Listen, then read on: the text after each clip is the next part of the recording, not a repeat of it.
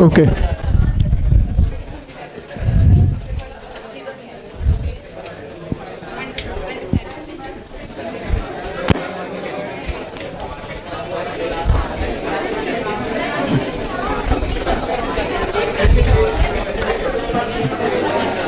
okay okay please silence बात बंद करो. लास्ट टाइम हमने प्रोजेक्टाइल स्टार्ट किया था. प्रोजेक्टाइल मोशन हमने दो तरीके से डिस्कस की थी कि या तो ग्राउंड टू ग्राउंड मैंने बताया था और या मैंने बताया था टॉप ऑफ़ द बिल्डिंग से हॉरिजॉन्टली एक प्रोजेक्टाइल को घेरना और वो फाइनली जो है ग्राउंड पे लैंड करेगा। सो so, मैंने ये बताया था कि अगर एक प्रोजेक्टाइल को वी वेलोसिटी से हमने प्रोजेक्ट किया at an angle of theta तो वो प्रोजेक्टाइल की इनिशियल वेलोसिटी के दो कंपोनेंट्स होंगे V cos theta and V sine theta और इस केस में मैंने ये भी बताया था कि ये इसकी इनिशियल वेलोसिटी मानी जाएगी। प्रोजेक्टाइल ऊपर भी जा रहा है, नीचे भी आ रहा है और आगे भी जा रहा है। प्रोजेक्टाइल की ऊपर जाने की initial velocity v sin theta फिर डिक्रीज हो जाएगी डिक्रीज हो जाएगी डिक्रीज हो जाएगी डिक्रीज हो जाएगी एंड टॉप मोस्ट पॉइंट पे वर्टिकल वेलोसिटी क्या हो जाएगी? ज़ीरो तो टॉप मोस्ट पॉइंट पे वर्टिकल वेलोसिटी ज़ीरो फिर उसके बाद vertical velocity increase increase increase increase and increase और हॉरिजॉन्टल वेलोसिटी कहीं पर भी चेक कर लेना इट विल रिमेन सेम क्या ये पॉइंट सबको क्लियर है? ऐसा हमने डिस्कस किया था। फिर एक आध एग्ज़ाम्पल भी किया था, जिसकी डिस्कशन आज थ्योरी करवाने के बाद मैं एंड में करूँगा। ठीक? तो हम कुछ रिजल्ट्स करते हैं, जो स्टैंडर्ड रिजल्ट्स हैं प्रोजेक्टाइल के। तो स्टैंडर्ड रिजल्ट्स के अंदर सबसे पहला रिज़ल्ट सपोज़ करो ये ग्राउंड आपने एक प्रोजेक्टाइल को वी वेलोसिटी से प्रोजेक्ट किया at an angle of theta और वो ग्राउंड पे आके गिरा। प्रोजेक्टाइल की इनिशियल वेलोसिटी मैंने बताया वी कॉस थीटा प्रोजेक्टाइल की initial vertical velocity is V into sine of theta projectile ने वाई डिस्टेंस बढ़ाया इंक्रीज इंक्रीज इंक्रीज और यहाँ पर वाई या हाइट की वैल्यू क्या आ गई? मैक्सिमम मैक्सिमम तो this is known as maximum height covered by the projectile और मैक्सिमम हाइट का जो एक्सेस है, वो क्या है? वाई वो एक्स नहीं है वो। वाई तो प्रोजेक्टाइल ने ज़्यादा से ज़्यादा हाइट जो कवर की, उसको मैक्सिमम हाइट का नाम देना है। प्रोजेक्टाइल यहाँ से, यहाँ पे टॉप मोस्ट पॉइंट पे टी वन टाइम पे आएगा।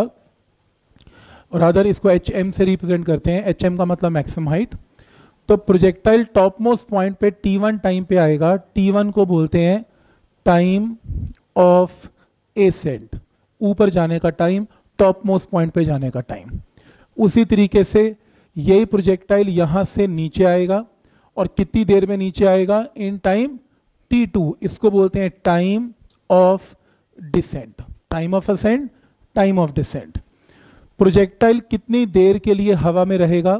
T one plus T two जिसको बोलते हैं time of flight time of flight और टाइम ऑफ़ फ़्लाइट हमेशा किसके इक्वल होगा? Time of ascent plus time of descent projectile ground पे ग्राउंड ज़मीन पे उसने कितना डिस्टेंस कवर किया? आर जमीनी डिस्टेंस हाइट नहीं, ज़मीन पे कितना डिस्टेंस कवर किया? आर आर को बोलते हैं रेंज ऑफ़ प्रोजेक्टाइल तो आर का मतलब है रेंज ऑफ़ प्रोजेक्टाइल क्या ये पॉइंट क्लियर है? कि टर्म समझ में आ रही है? जब मैं बोलूँगा रेंज तो ग्राउंड का डिस्टेंस जब मैं बोलूँगा हाइट तो वाई एक्सिस का डिस्टेंस तो डायग्राम बनाओ please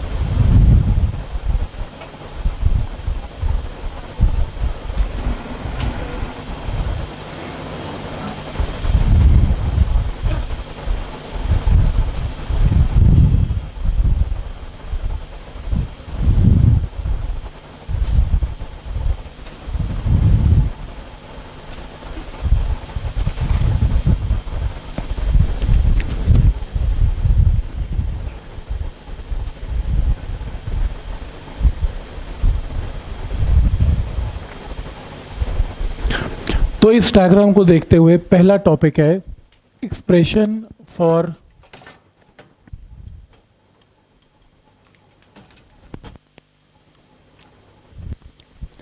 expression for maximum height expression for maximum height हम वैल्यू निकालना चाहते हैं maximum height H of M क्या होगी?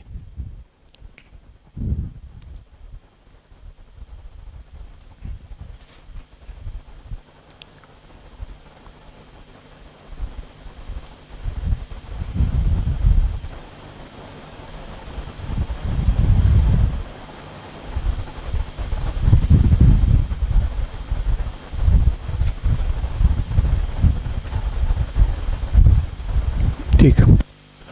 देखो, सबसे पहले ये देखना होता है कि आपको अगर ये कहा जाए expression for maximum height maximum height जो डिस्टेंस है, ये देखना है कि वो y के अलोंग है या वो x के अलोंग है। y के अलोंग है। हाइट तो y के अलोंग होगी ना?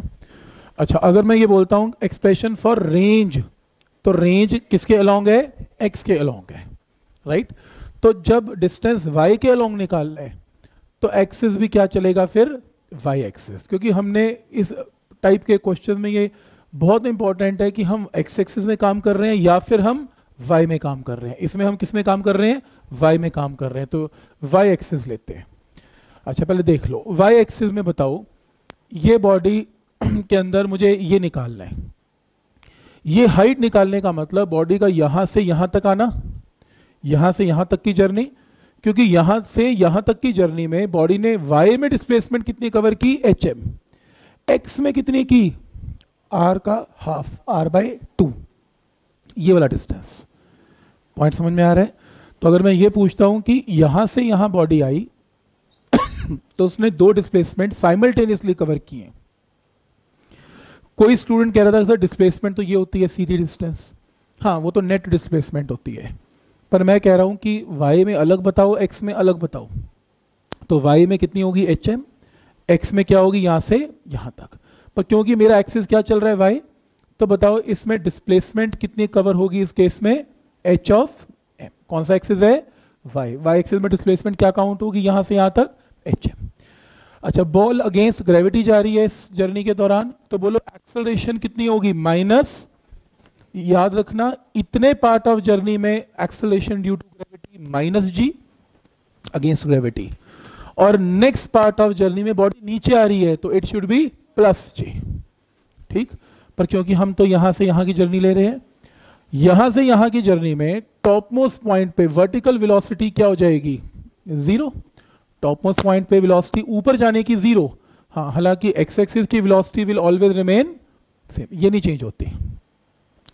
तो यहाँ से यहाँ की जर्नी में इनिशियल वेलोसिटी बोलो वाई एक्सिस में क्या होगी? इनिशियल वेलोसिटी अब क्या बोलेंगे? वी साइन थीटा और फाइनल वेलोसिटी क्या होगी? Final velocity is equal to zero point समझ में आ रहा है कि आपने एक्स को देखना ही नहीं। आपने सब कुछ सिर्फ़ वाई के लॉन्ग देखना है। तो आपने ये बोलना है कि यहाँ से यहाँ initial velocity is V sine theta and final velocity is zero point सबको क्लियर है यहाँ तक?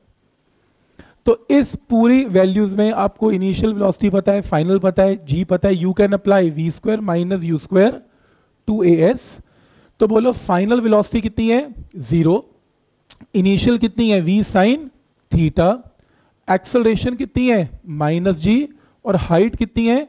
एच एम तो इन सारी वैल्यूज़ को हमने V square minus U square two S में पुट किया. तो यहाँ से जब सॉल्व किया minus V square sine square theta is minus two G times H M तो यहाँ से मैक्सिमम हाइट का फॉर्मूला बन गया V square sine square theta divided by two G. तो ये फॉर्मूला है, एक्सप्रेशन है to calculate the maximum height of the projectile. तो आज के बाद जब न्यूमेरिकल आएगा to calculate the maximum height तो मैक्सिमम हाइट की कैलकुलेशन में हम ये कंपोनेंट्स नहीं ड्रॉ करेंगे, हम सीधा फॉर्मूला अप्लाई करेंगे। बट ये पॉइंट समझ में आया, ये कैसे लिखा मैंने? कि इस जर्नी में, यहाँ से यहाँ की जर्नी में final velocity zero Y axis की इनिशियल वेलोसिटी वाई एक्सिस में V sine theta acceleration minus G और हमने अप्लाई किया V square minus U square two A S तो देखो expression for maximum height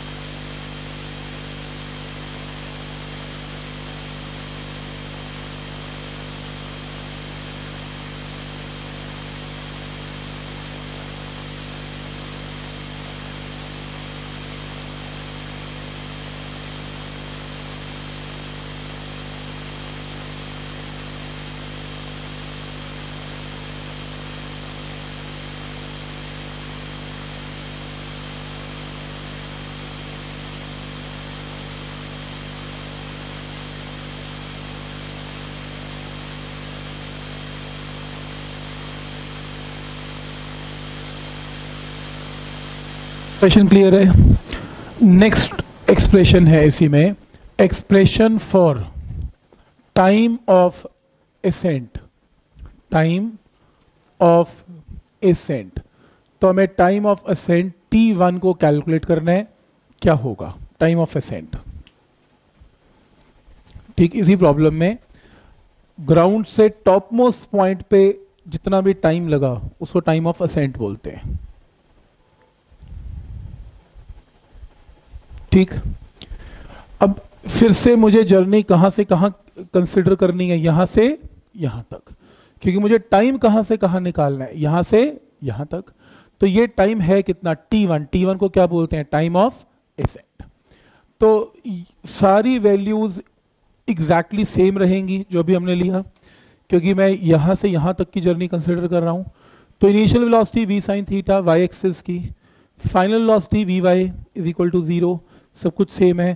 बस इक्वेशन में चेंज कर रहा हूँ। इस बार मैं अप्लाई करना चाहता हूँ। V is u plus A तो v फाइनल वेलोसिटी की जगह ज़ीरो इनिशियल वेलोसिटी की जगह v साइन थीटा एक्सलरेशन की जगह माइनस जी और टाइम इज़ t1 तो t1 के लिए सॉल्व करो।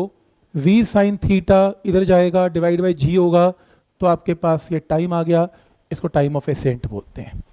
तो टॉप मोस्ट पॉइंट पर आने के टाइम को टाइम ऑफ़ असेंट बोलते हैं and this is the expression for time of ascent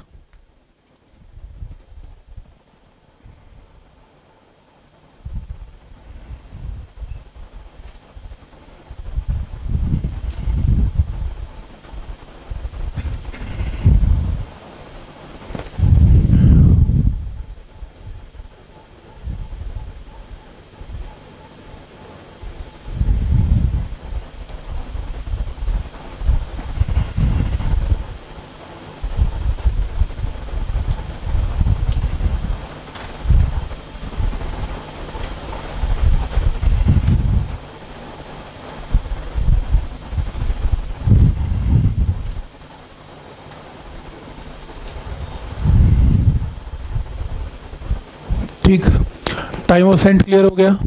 Abhishek clear है यहाँ तक। Okay next is expression for time of descent time of descent नीचे आने के टाइम को हम कैलकुलेट करेंगे। टाइम ऑफ़ डिसेंट ये सारी वैल्यूज़ मुझे मिटानी पड़ेंगी। क्यों? क्योंकि अब मेरी जर्नी चेंज हो गई। अब मेरी जर्नी कहाँ से कहाँ स्टार्ट होगी? यहाँ से यहाँ पे। क्योंकि पहले मैं टाइम ऑफ़ असेंट निकाल रहा था, ऊपर जाने का टाइम तो मेरी जर्नी यहाँ से यहाँ तक की थी। अब मुझे टाइम निकालना है, नीचे आने का टाइम तो मेरी जर्नी यहाँ से यहाँ तक होगी। क्लियर है यहाँ तक? तो फिर से स्टार्ट करते हैं। एक्सिस क्या ले? कुछ भी ले सकते हैं वैसे तो। एक्स भी ले लो वाई भी ले लो।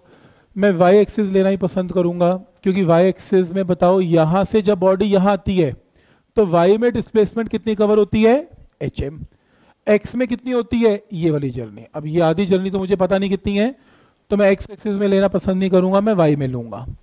तो फिर से एक बार वाई एक्सिस कोई मुझे ये बताएगा कि वाई एक्सिस में जब जर्नी यहाँ से स्टार्ट होती है तो वाई एक्सिस की इनिशियल वेलोसिटी बोलो कितनी?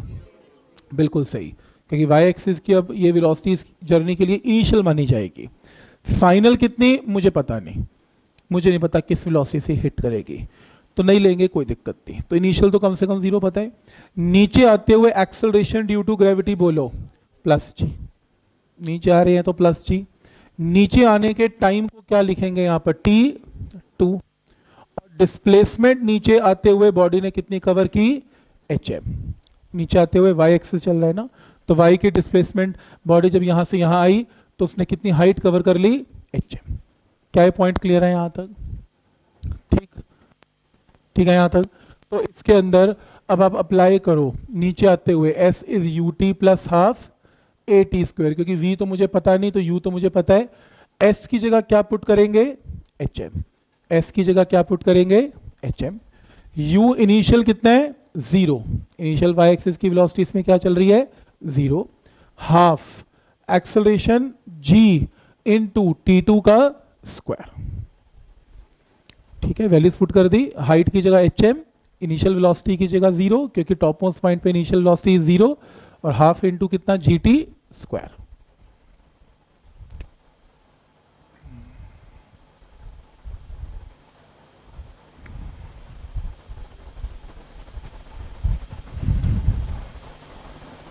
जल्दी जल्दी।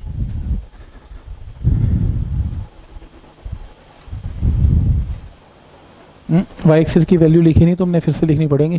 चेंज हुई है, पहले से। वाई एक्सिस की वैल्यू सेम थोड़ा चलेंगी, इसको नया बनाओ।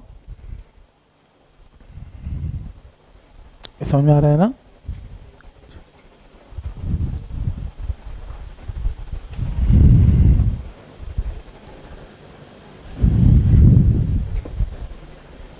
ठीक है? ओके मैक्सिमम हाइट का फॉर्मूला अभी भी डराइव किया। कितना था?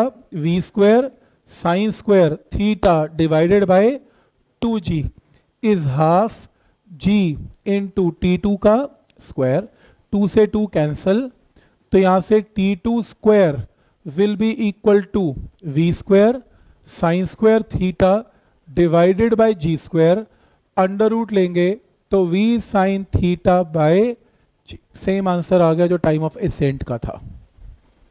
सॉल्व करेंगे तो टाइम ऑफ़ असेंट और टाइम ऑफ़ डिसेंट का answer exactly exactly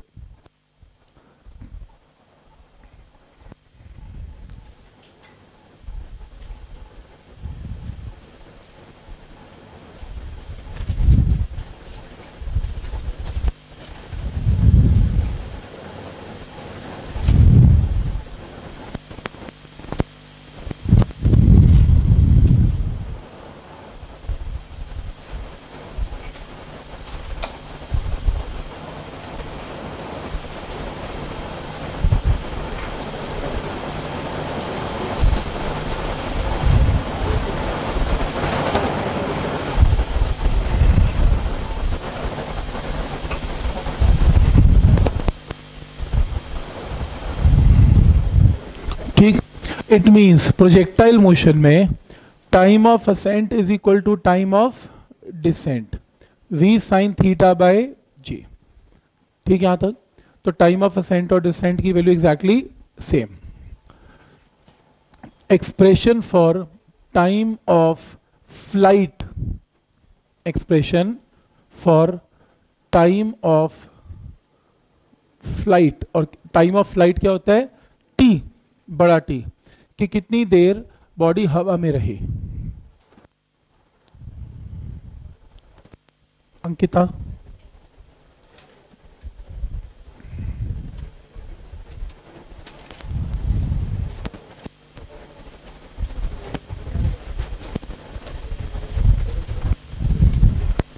हाँ जी, ठीक है expression for time of flight जो टाइम ऑफ़ फ़्लाइट है टी बोलो वो किसके इक्वल होती है? T one plus T two तो T is equal to v sine theta by g plus v sine theta by g तो time of flight is two v sine theta by g तो time of flight double हो जाएगा time of ascent या time of descent से।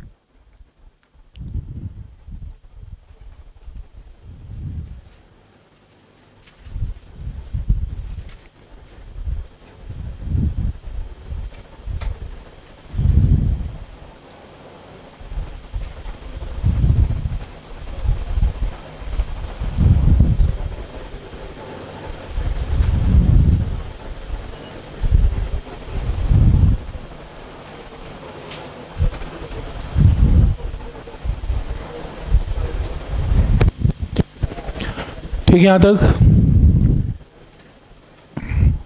Next is expression expression for range R expression for range R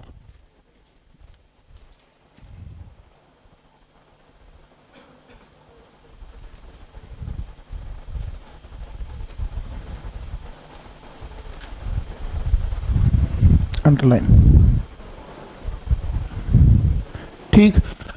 सबसे पहले ये decide करेंगे range y का डिस्टेंस है कि x का? तो एक्सेस यहाँ पर क्या लिखेंगे? तो इक्वेशन किस एक्सिस के लॉन्ग लगेगी?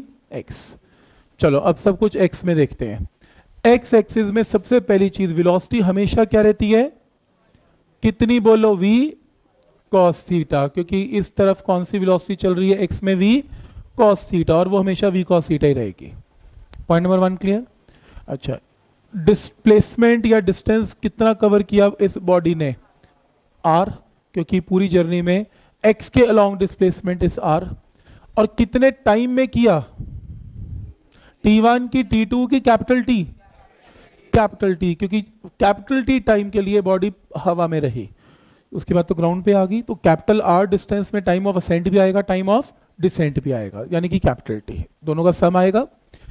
और एक्स एक्सिस में क्योंकि वेलोसिटी कांस्टेंट है तो एक ही इक्वेशन अप्लाई की जा सकती है। S is equal to V T क्योंकि जब वेलोसिटी कांस्टेंट होती है मोशन इन वन डी में हमने डिस्कस किया, जब वेलोसिटी कांस्टेंट है तो you can apply S is equal to V T तो यहाँ से एस की जगह क्या पुट करेंगे? आर वी की जगह क्या पुट करेंगे? वी कॉस थीटा और टाइम की जगह टाइम ऑफ़ फ़्लाइट तो एस की जगह पुट करेंगे आर वी की जगह पुट करेंगे वी कॉस थीटा और टाइम की जगह कैपिटल टी क्या पॉइंट क्लियर है?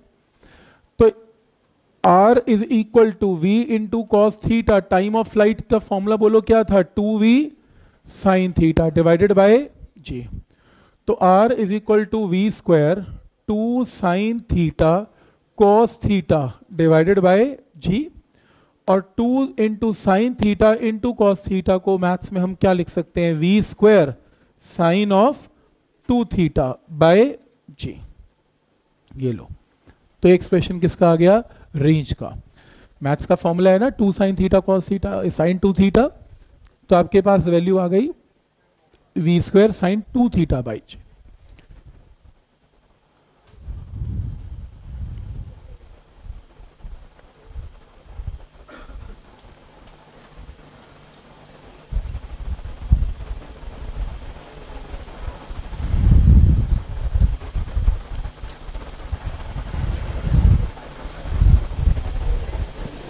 ठीक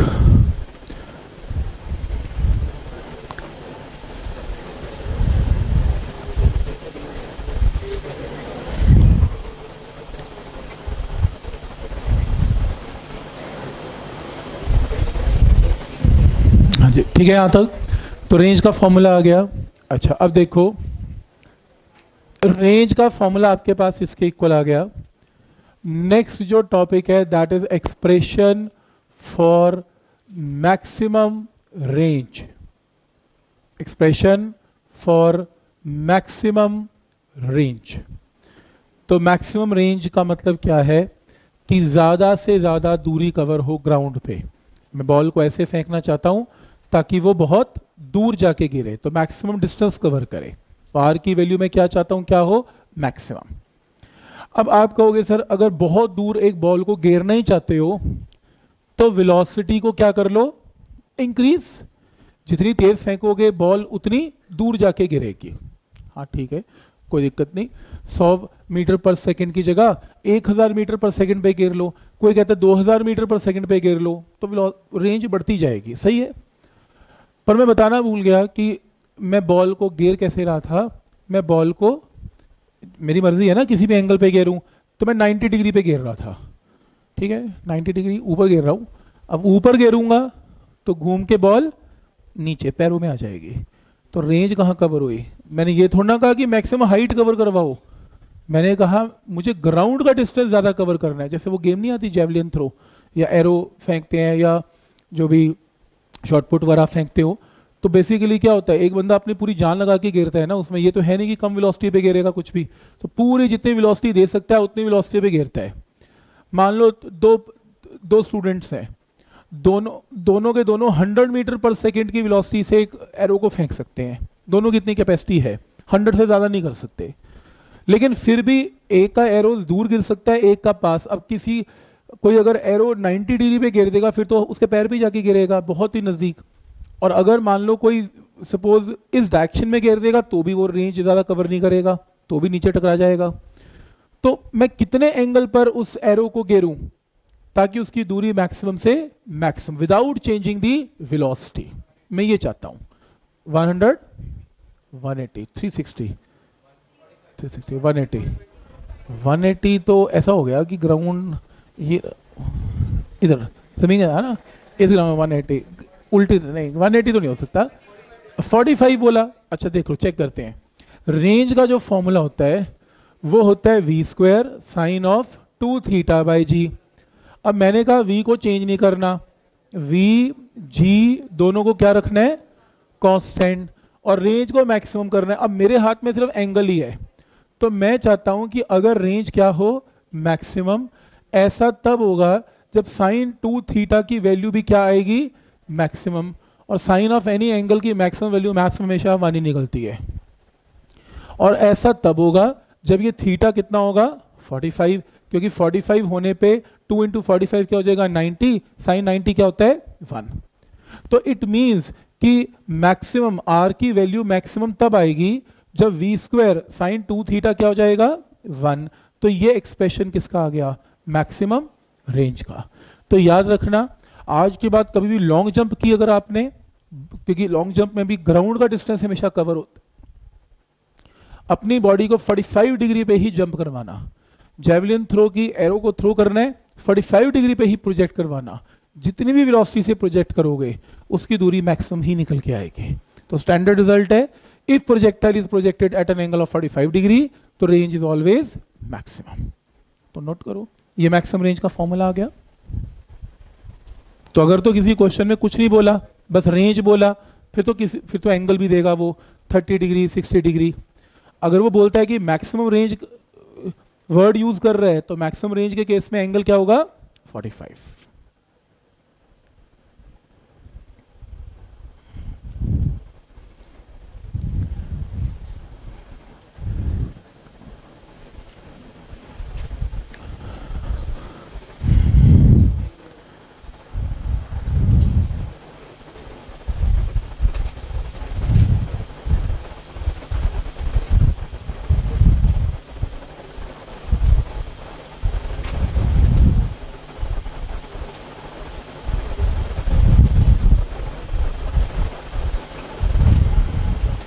ठीक।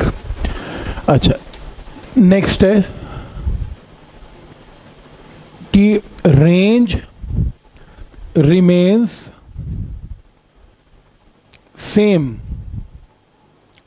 if angle of projection is theta और 90 माइनस थीटा लिखो प्रूव करेंगे इसे।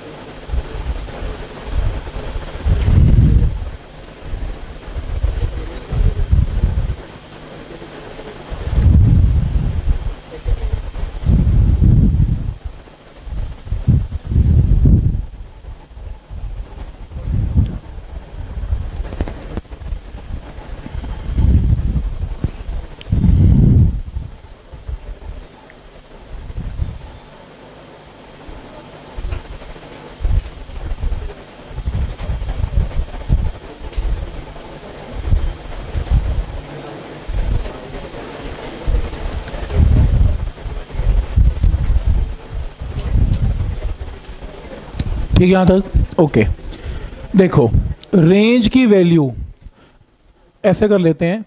If angle of projection is theta तो रेंज का फॉर्मूला बोलो V square sine two theta by G यही किया। If angle of projection is 90 minus theta तो रेंज का formula is V square sine of two into कितना? 90 minus theta by जी या फिर V square sine of two into ninety one eighty minus two theta by G अब हमने quadrants किए थे। Quadrants में ये देखा था कि 180 एटी माइनस टू थीटा किस क्वाड्रेंट में होता है? सेकेंड क्वाड्रेंट में। और क्योंकि 180 है तो साइन पॉजिटिव रहेगा सेकेंड क्वाड्रेंट में। साइन साइन रहेगा क्योंकि 180 है और क्या बन जाएगा इसको? ऐसे लिख सकते हैं। तो रेंज का आंसर फिर से एग्जैक्टली क्या जाएगा? सेम तो इसलिए कोई फ़र्क नहीं पड़ता। आपने एक प्रोजेक्टाइल को थीटा पे प्रोजेक्ट किया या 90 माइनस थीटा पे किया रेंज उसकी क्या रहेगी? सेम पॉइंट समझ में आ रहा है यहाँ तक? तो मैथमेटिकली हो गया ना प्रूव क्योंकि sine of 180 eighty minus two theta is again sine two theta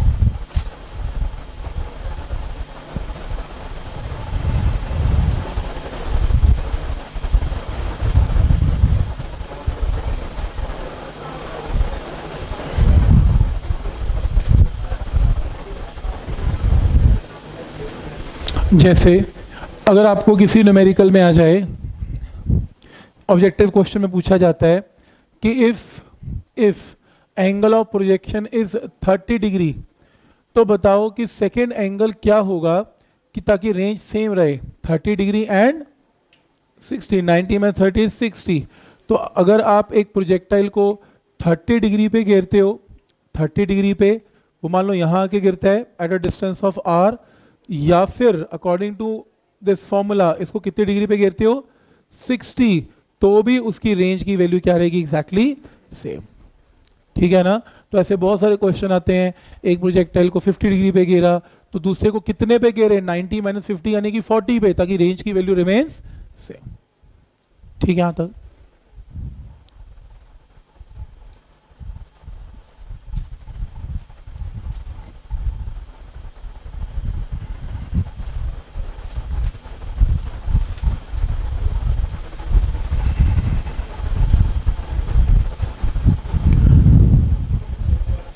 फिर से, ये समझ आया रिज़ल्ट मतलब अगर आप एक प्रोजेक्टाइल को 30 पे गिरते हो तो वो कोई आर कवर करेगा। अगर आप उसी प्रोजेक्टाइल को उसी वेलोसिटी से 60 पे गिरते हो 90 माइनस थर्टी सिक्सटी तो भी वो ग्राउंड का डिस्टेंस सेम ही कवर करेगा। दोनों में कोई फ़र्क नहीं होगा। क्योंकि मैथमेटिकली प्रूव कर दिया ना थीटा और 90 माइनस थीटा पे फॉर्मूला रिमेन्स सेम तो हमें करने की ज़रूरत नहीं बार बार तो अगर एंगल 30 होगा तो दूसरा 90 माइनस थर्टी यानी कि 60 तो रेंज सेम ही आएगी उसमें। बाकी किसी न्यूमेरिकल में करके देख लेना, पता लग जाएगा थर्टी सिक्सटी में आंसर सेम ही आने वाला है। पॉइंट समझ में आ रहा है यहाँ तक? डाउट है अभिषेक? किसमें? समझ आ गया? ठीक। कोई डाउट इसमें?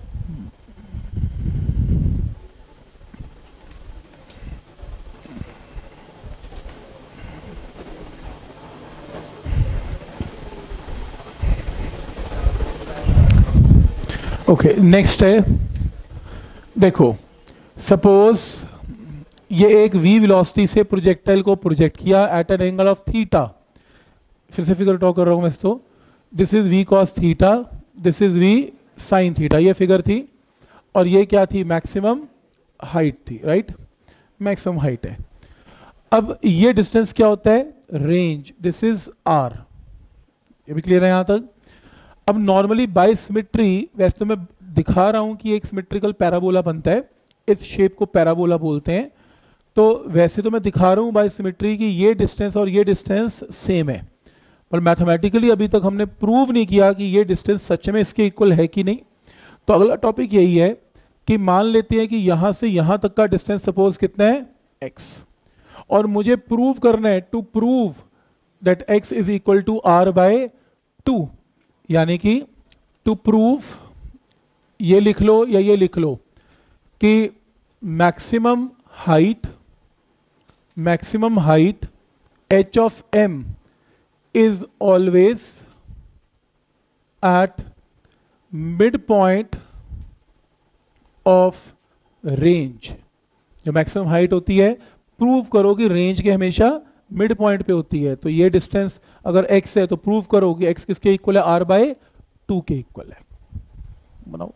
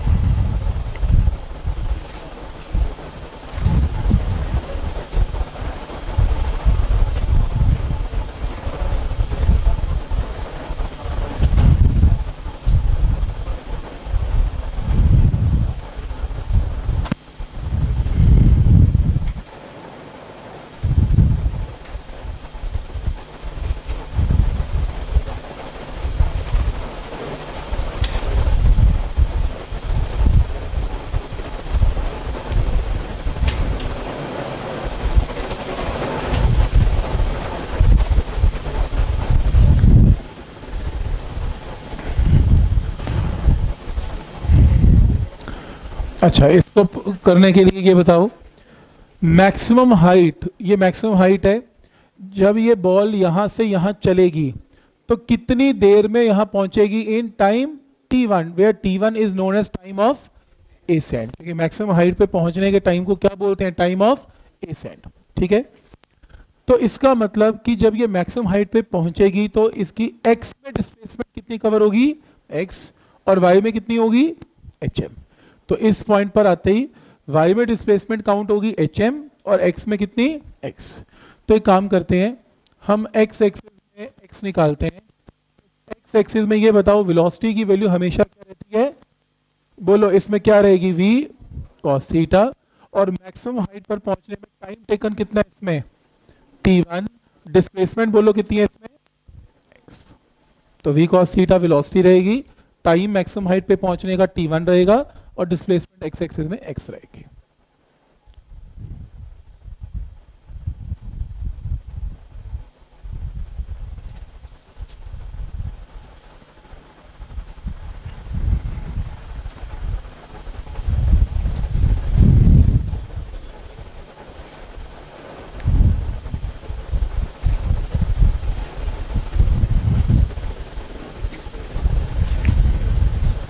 ठीक x एक्सिस में कौन सी इक्वेशन अप्लाई कर सकते हैं? S इज़ इक्वल टू क्योंकि वेलोसिटी इज़ कांस्टेंट तो s की जगह क्या पुट करें? X, v की जगह v, cos थीटा और टाइम की जगह t1 और t1 को क्या बोलते हैं? टाइम ऑफ़ एसेंट तो यहाँ पर क्या बन जाएगा? V cos थीटा और टाइम t1 की जगह बोलो क्या? V sin theta by g, क्योंकि टाइम t1 का मतलब क्या होता है? टाइम ऑफ़ एसेंट क्लियर है यहाँ तक? तो एक्स की वैल्यू सॉल्व करके आ जाएगी V square into sine theta into cos theta divided by g. ठीक?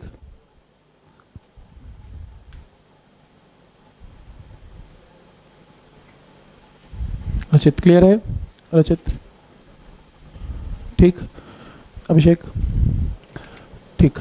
तो इसमें रेंज का फॉर्मूला बोलो, क्या होता था? V square sine two theta by G. ये रेंज होती है। रेंज को अगर एक्सपैंड करें साइन टू थीटा को two sine theta cos theta by G ये मेरे पास रेंज आ गई। दिस इज़ और equation number two sine two theta को लिख लिया two sine theta into cos theta ठीक रेंज का फॉर्मूला लिख लिया। ठीक एक्स हमने निकाल लिया। रेंज हमें मालूम है। एक काम करते हैं इक्वेशन नंबर वन को इक्वेशन नंबर टू से डिवाइड कर लेते हैं। That is X divided by R सब कुछ कैंसिल हो जाएगा, सिर्फ़ एक नंबर बच जाएगा और वो है टू डिवाइड करके देखो साइन से साइन कॉस से cos V square V square G से जी सब कैंसिल टू बचेगा। तो यहाँ से सॉल्व करके क्या आ जाएगा? X is equal to R by यही प्रूव करना था X equal to R by two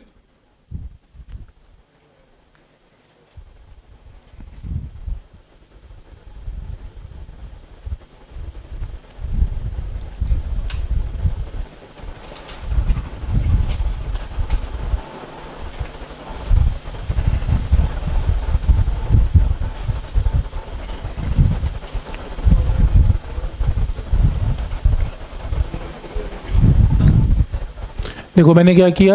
X निकाल के रख लिया। X क्लियर है। रेंज का फॉर्मूला क्या है? V square sine two theta by G sine two theta को मैथ्स में एक्सपैंड करेंगे तो टू साइन कॉस इस टर्म को इससे डिवाइड करना है। तो x बाई आर फिर वी स्क्वायर से वी स्क्वायर कैंसिल साइन से साइन कॉस से कॉस जी से जी क्या बच गया सिर्फ़? टू इसमें टू नहीं है, इसमें टू है। तो वन बाई टू आंसर ठीक। क्या ये पॉइंट सबको क्लियर है? ठीक? तो ये प्रूव हो गया कि जो मैक्सिमम हाइट है वो एग्जैक्टली exactly इसके मिड पॉइंट पे ही निकलेगी।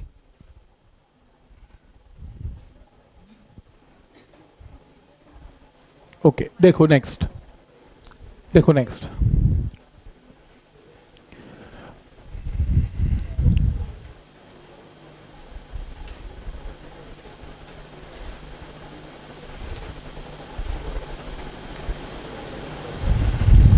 क्या होगा चिराग?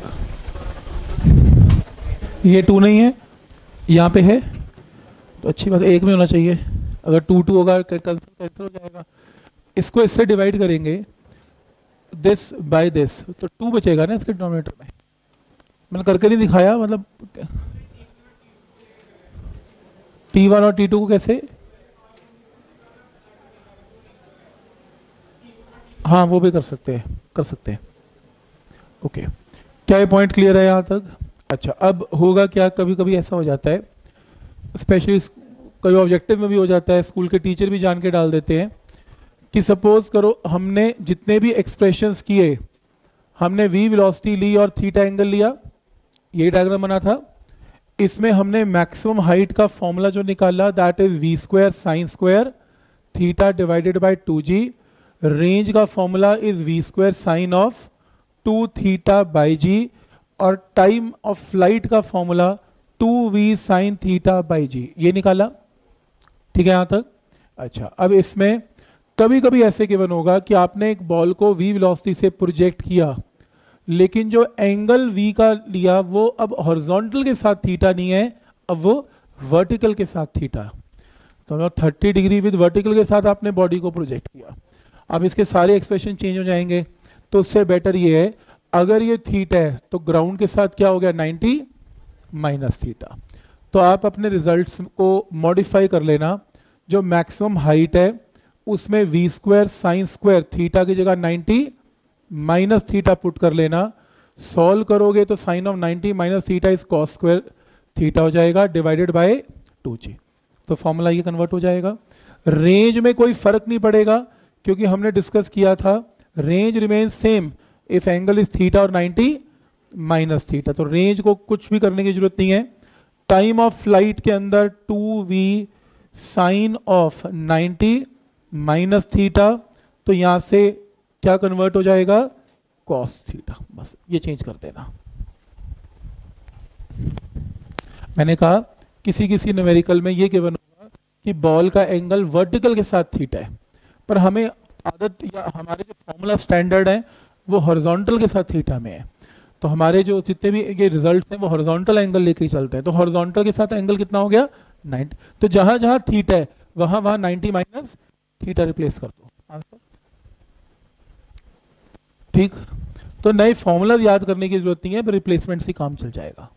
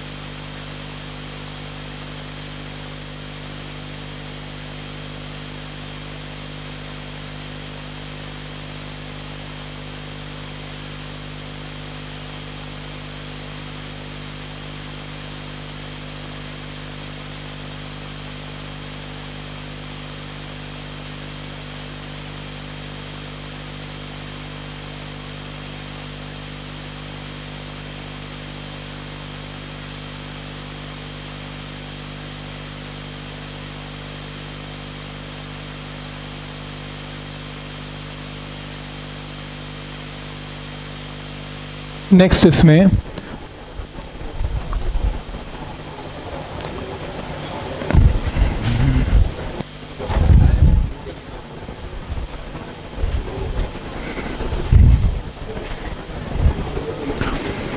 equation of trajectory equation of trajectory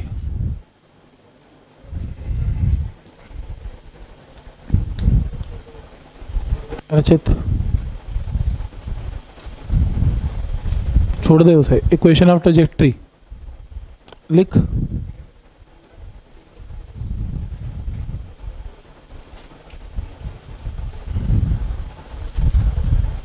देखो, पहले ये समझ लो, हम एक इक्वेशन बनाने जा रहे हैं। इक्वेशन एक्स और वाई की फॉर्म में फॉर्मुलेट होती है हमें मालूम है। किसकी? ट्रिजेक्ट्री की। ट्रिजेक्ट्री वर्ड क्या होता है? ये समझ लो। सपोज़ करो, अगर आपके पास ये एक्स एक्सेस है, ये वाई एक्सेस है। और मैं ऐसे चलना स्टार्ट करता हूँ कि एग्जैक्टली exactly इसके इस बाइसेक्टर के अलॉन्ग चलता जाता हूँ। तो कोई मुझे बताएगा कि ये जो लाइन बनेगी स्ट्रेट लाइन बनेगी, इसकी इक्वेशन क्या होगी? y is equal to X तभी मिड पॉइंट से निकलती है इक्वेशन तो अगर मैं ये पूछूँ कि मेरी ट्रेजेक्ट्री क्या है ट्रेजेक्ट्री का मतलब मेरा जो पाथ है, मेरा जो चलने का स्टाइल है या जो ग्राफ है, वो क्या बनेगा? आप बोलेंगे स्ट्रेट लाइन तो मेरी ट्रेजेक्ट्री क्या है? स्ट्रेट लाइन अगर सपोज़ करो मैं ऐसे चलना स्टार्ट करता हूँ सच दैट कुछ भी नहीं बना सर्कल बनाते हैं. तो अगर मैं ऐसे चलना स्टार्ट करता हूँ कि सच दैट एक सर्कल फॉर्मुलेट करता हूँ तो मेरी ट्रेजेक्ट्री क्या है? सर्कल तो आप बोलेंगे सर्कल ट्रेजेक्ट्री किस शेप में मैं या कौन सा पाथ मैं फॉलो कर रहा हूँ? वो ट्रेजेक्ट्री है. इज़ अ सर्कल हो सकता है मेरी ट्रेजेक्ट्री चलने की इलिप्स हो. मैं इलिप्स की फॉर्म में चलूँ. हो सकता है पैराबोला हो. तो जिस भी शेप में मैं चलूँगा या कोई भी बॉडी चलेगी, वो कैसा पाथ बनाती है, उसकी शेप क्या होगी, उसे ट्रेजेक्ट्री बोलते हैं. और हमारे क्वेश्चन में जो ट्रिजेक्ट्री है, वो हमने क्या ली? पैराबोला क्योंकि वी वेलोसिटी से हमने हमेशा बॉल को प्रोजेक्ट किया थीटा एंगल पर तो ये देखो, ये ट्रेजेक्ट्री दिख रही है, ये इसका पाथ है, और ये क्या है?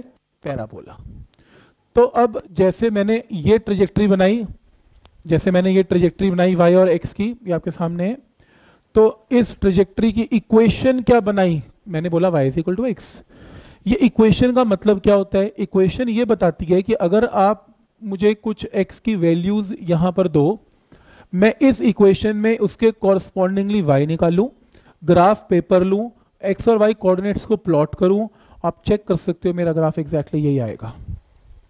तो एक इक्वेशन मेरे को एक पाथ फॉलो करके दिखाती है कि इस इक्वेशन के अकॉर्डिंगली अगर ग्राफ प्लॉट किया जाएगा तो वो एग्जैक्टली exactly कैसा होगा, ये इक्वेशन का फ़ायदा है।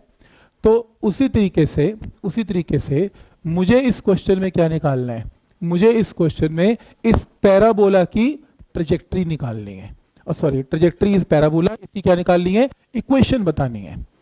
अब इक्वेशन में ये एक्स एक्सेस है, ये मान लो एक्स एक्सेस है, और सपोज़ ये वाई एक्सेस है। तो मेरे को ये बताना है, एक ऐसी इक्वेशन बतानी है आपको एक्स और वाई की फॉर्म में सच दैट अगर आप डिफरेंट डिफरेंट एक्स पुट करो, और उसके कॉरस्पॉन्डिंग डिफरेंट डिफरेंट वाई आए मतलब अगर मैं आपको एक, इसकी इक्वेशन बता दूँ, जो कि क्योंकि इसमें कहीं पर भी मान लो ये पॉइंट यहाँ पर है तो इसकी कुछ ना कुछ वाई की वैल्यू होगी, कुछ ना कुछ एक्स की वैल्यू भी होगी। कहीं भी ले लो वाई और एक्स तो होगा होगा। तो मेरे को वाई और एक्स के बीच में एक रिलेशन बताना है, एक इक्वेशन बतानी है सच दैट आप एक टेबल की फॉर्म में, जैसे अगर मैं इक्वेशन बताऊँगा एक्स की डिफरेंट डिफरेंट वैल्यूज़ पुट करोगे वाई की डिफरेंट डिफरेंट वैल्यूज़ निकालोगे, और उन्हें जब प्लॉट करोगे तो आपका ग्राफ क्या बनेगा? पैराबोला ही बनेगा। तो मुझे क्या बतानी है? उसकी एक इक्वेशन बतानी है। तो मुझे इस क्वेश्चन में किसकी इक्वेशन बतानी है? पैराबोला की इक्वेशन बतानी है। तो इसमें ट्रेजेक्ट्री क्या है? पैराबोला। और मुझे क्या बतानी है? पैराबोला की इक्वेशन तो टॉपिक का नाम क्या हुआ? इक्वेशन ऑफ़ ट्रेजेक्ट्री समझ में आया यहाँ तक? क्लियर है यहाँ तक? रिपीट ओके ये ट्रेजेक्ट्री की क्वेश्चन क्या बताती है? ट्रेजेक्ट्री क्या होती है?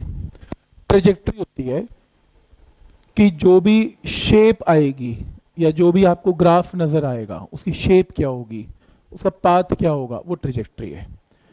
अगर मैं स्ट्रेट लाइन चलता हूँ तो मेरी trajectory is a straight line मैं अगर सर्कल चलता हूँ, मेरी ट्रेजेक्ट्री इज़ अ सर्कल मैं अगर इस शेप में चलता हूँ तो पैराबोला ये ट्रेजेक्ट्री का मतलब है। बोलो, प्रेरक। देखो ट्रेजेक्ट्री एक कॉमन वर्ड है।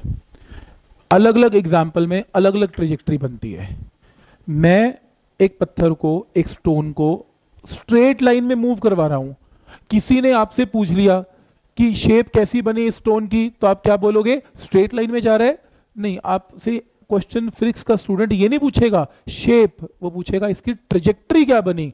आप बोलेंगे स्ट्रेट लाइन फिर एक और स्टूडेंट आया, उसने पैराबोला की फॉर्म में पत्थर को फेंक दिया। तो एक आम बंदा बोलेगा कि एक पैराबोला की शेप में जा रहा है। फिजिक्स का स्टूडेंट बोलेगा, इसकी ट्रेजेक्ट्री बताओ क्या है? आप देख के बताओगे ये एक पैराबोला है। तो ट्रेजेक्ट्री तो कहीं भी फिट इन हो जाता है। तो ट्रेजेक्ट्री स्ट्रेट लाइन हो सकती है ट्रेजेक्ट्री सर्कल हो सकती है ट्रेजेक्ट्री पैराबोला हो सकती है ट्रेजेक्ट्री इलिप्स हो सकती है। डिपेंडिंग की बॉडी किस शेप में मूव करती है उसकी ट्रेजेक्ट्री है।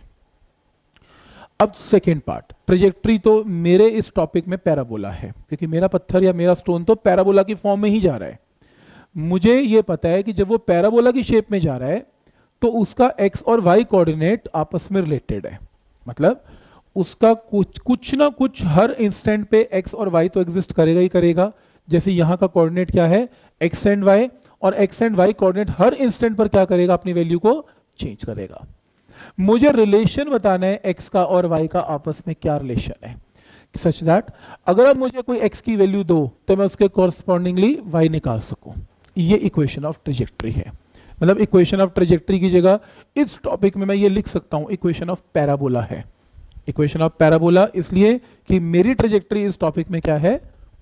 पैराबोला बट पॉइंट समझ में आ रहा है? अब इसको करने के लिए एक्स और वाई के रिलेशन निकालने के लिए हम ये मान लेते हैं कि एक प्रोजेक्टाइल यहाँ से यहाँ पैराबोला जा रहा है।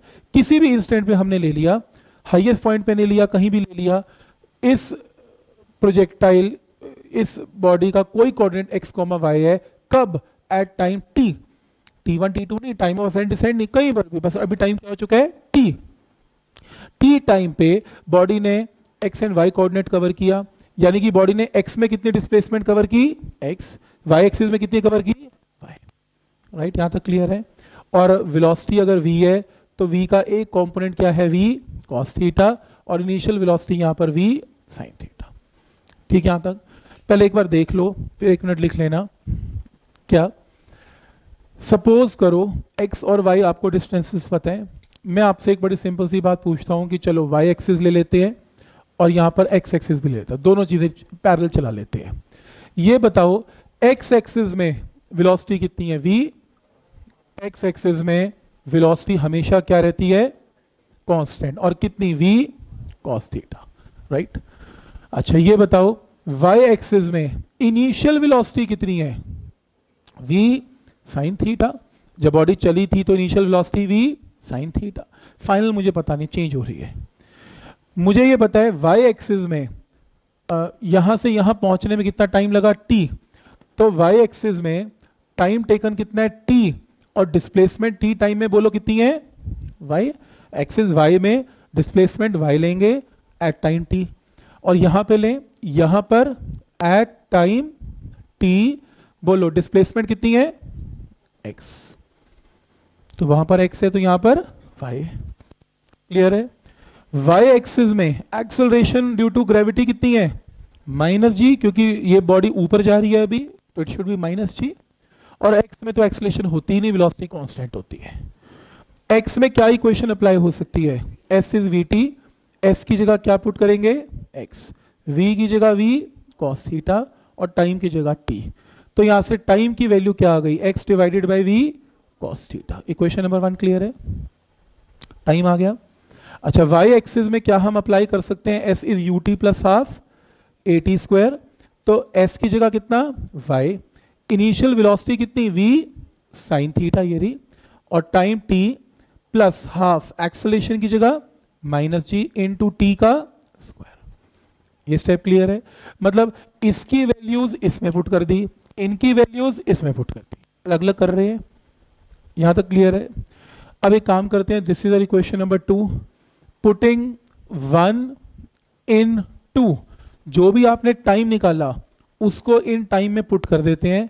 तो y की वैल्यू क्या बनेगी? v साइन थीटा टाइम की जगह कितना? x by v cos theta minus half g half g. Time की जगह कितना? X by v cos theta का होल स्क्वायर तो टाइम की जगह यहाँ पुट कर दिया, टाइम की जगह यहाँ पुट कर दिया, टाइम दोनों में सेम है। V से v कैंसल तो y is equal to sine by cos क्या होता है? Tan x tan theta minus half g x square divided by v square cos square theta this is relation between y and x इस equation को बोलते हैं equation of trajectory इसको use कैसे करना है? मैं भी बताऊँगा। इन स्टेप्स में कोई डाउट वाई एक्सिस की वैल्यूज़ क्लियर हैं? S is u t plus half a t square में पुट किया। एक्स एक्सिस में s is equal to v t put किया। टाइम की वैल्यू यहाँ से निकाल, यहाँ पुट कर दी। बस सॉल्व किया तो ये आंसर आया। अब लिखो, उसके बताता हूँ इसको यूज़ कैसे करते हैं। इंपॉर्टेंट है।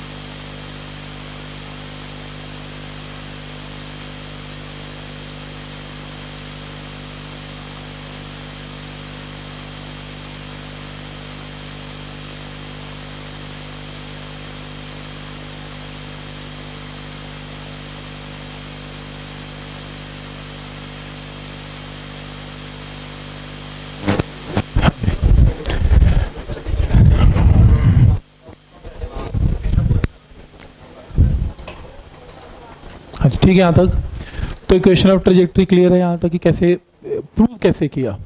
एनसीईआरटी में आती है स्कूल साल में पूछते हैं, ये prove that equation of trajectory या उसका इक्वेशन ऑफ़ ट्रेजेक्ट्री को डराइव करो तो यहाँ तक करके आनी है। ठीक?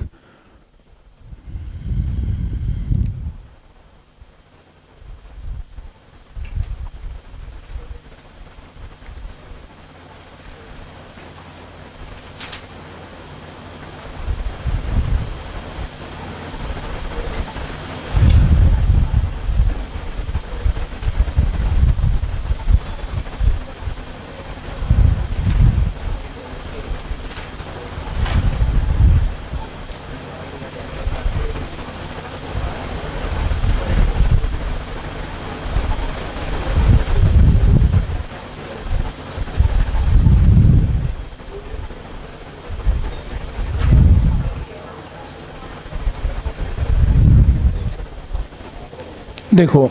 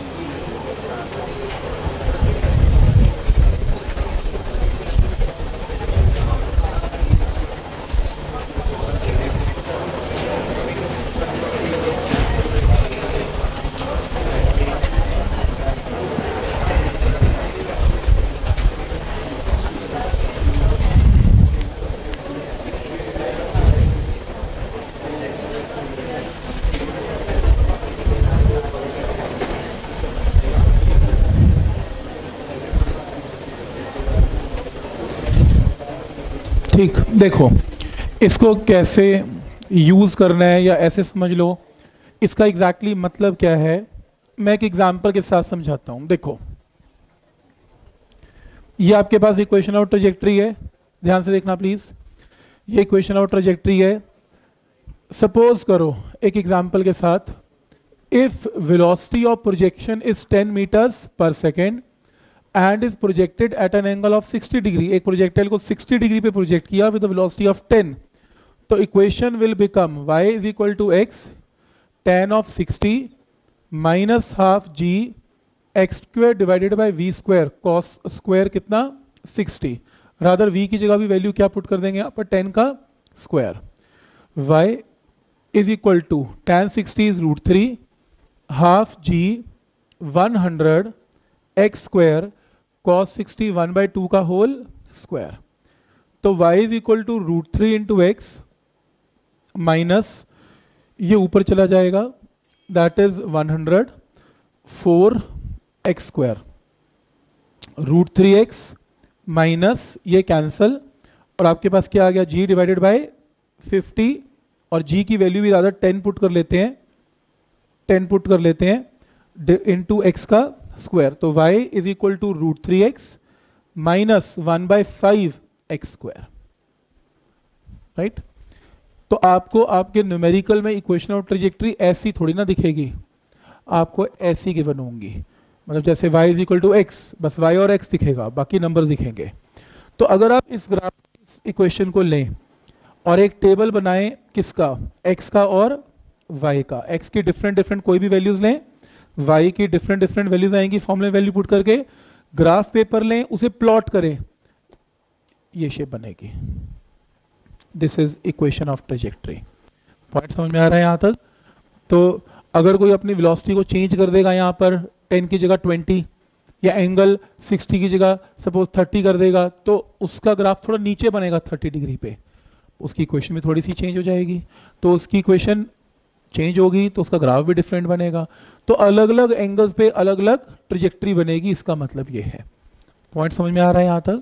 तो आपको आपकी इक्वेशन इस फॉर्म में दिखाई देगी। तो मतलब इसका एक और भी मतलब है कि अगर आप मुझे इसमें x की कोई वैल्यू दे मतलब आपको ये ए, ये पता है कि इस ग्राफ की ये इक्वेशन है इस पैराबोला की ये इक्वेशन है। आप मुझे ये बोलते हैं कि सर जब x की वैल्यू यहाँ पर 10 मीटर थी क्या आप बता सकते हैं कि वाई कितना था? हाँ मैं बता सकता हूँ। मैं यहाँ पर एक्स को 10 पुट कर लूँगा। मेरा वाई एक मिनट में आ जाएगा। तो यानी कि दोनों कोऑर्डिनेट्स आपस में कैसे रिलेटेड है, ये हमारी इक्वेशन ऑफ़ ट्रेजेक्टरी हमें बताती है। क्लियर है यहाँ तक? तो relation between x coordinate and y coordinate right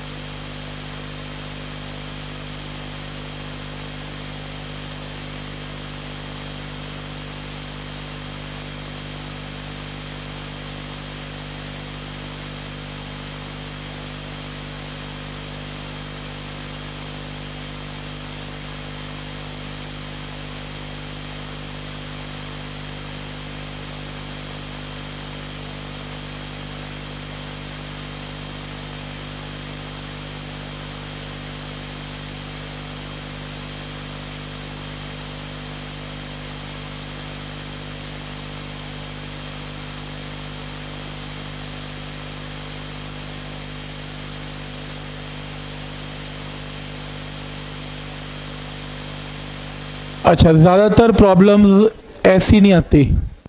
ज़्यादातर प्रॉब्लम्स उल्टी आती हैं, ध्यान से देखना।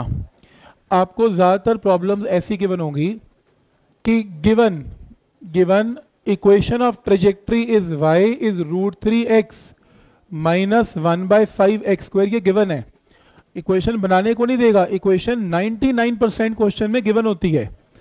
आपको ये कहेगा, इस इक्वेशन को देखते हुए एक तो ये बताओ एंगल ऑफ़ प्रोजेक्शन क्या होगा और एक ये बताओ कि कितनी वेलोसिटी से उसे प्रोजेक्ट किया था, उल्टा पूछेगा। तो आप एक काम करना, ये इक्वेशन लिखो।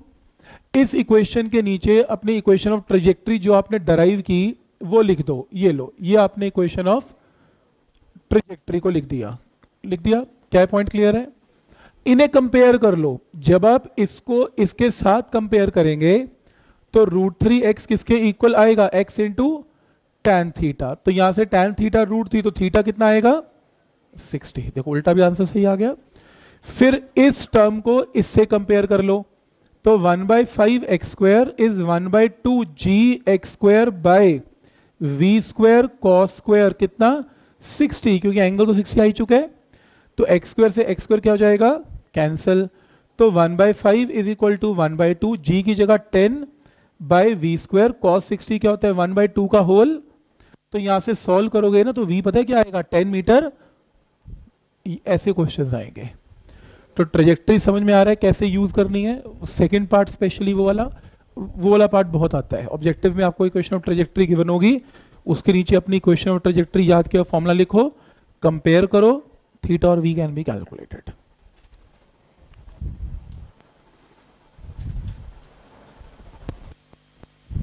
ठीक। पीछे। दोनों को।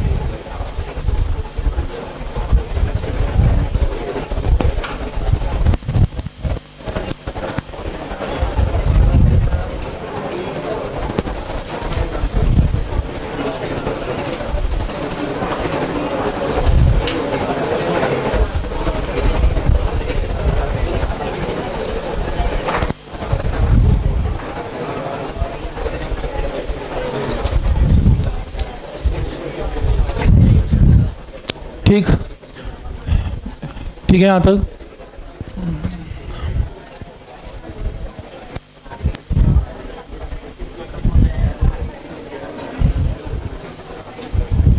ओके okay, देखो सपोज़ एक और एक्सप्रेशन आता है। एक टावर के टॉप से मैंने यू वेलोसिटी से हॉरिजॉन्टली एक प्रोजेक्टाइल को प्रोजेक्ट कर दिया। वर्टिकल नहीं, सीधा फेंका था, पर अंडर ग्रेविटी होने की वजह से वो पैराबोलिक फॉर्म में आ गया और यहाँ पे आके नीचे गिर गया। उसने वर्टिकल डिस्टेंस कितना कवर किया? Y, और हॉरिजॉन्टल कितना कवर किया? X, और कितने टाइम में किया? T और सबको पता है ऐसे केस में इनिशियल वर्टिकल वेलोसिटी क्या लेते हैं? ज़ीरो राइट तो आपको प्रूव करना है। To prove path followed by projectile is parabolic in nature. ठीक, ये आपको प्रूव करना है इस पैराबोलिक इन नेचर ठीक, एक मिनट देख लो, फिर आराम से देख लेना। सबसे पहले ये बताओ, ये पैराबोला हमें दिख रहा है, पर मैथमेटिकली प्रूव करना ये पैराबोला है। इनिशियल वर्टिकल वेलोसिटी ज़ीरो अगर मैं एक्स एक्सेस और वाई एक्सेस इकट्ठे लिखूं और आपसे ये पूछूँ कि इसमें बताओ पूरी जर्नी में डिस्प्लेसमेंट कितनी हुई एक्स एक्सेस में? तो आप क्या बोलोगे? एक्स और यहाँ पर डिस्प्लेसमेंट की जगह क्या बोलोगे? वाई